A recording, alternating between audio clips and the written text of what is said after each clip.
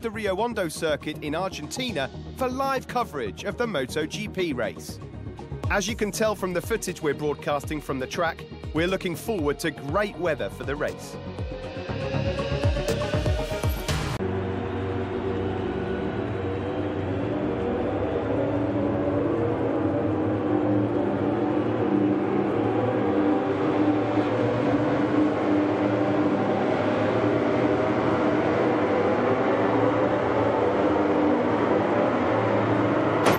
Everything here is ready to start the race at Termas de Rio Hondo. Riders just have one thing on their mind now, being the first to cross the finish line.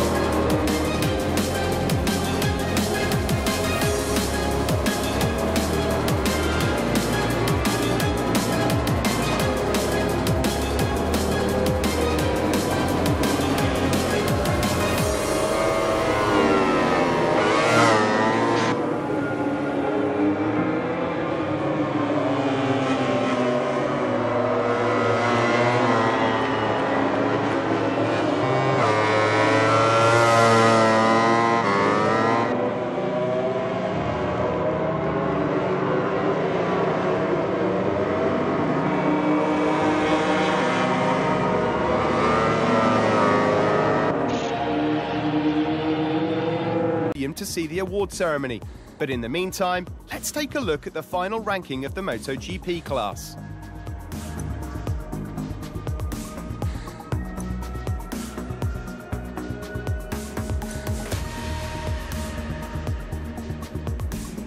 While he was hoping for a win today, third place is still a good result when you're up against riders of this calibre.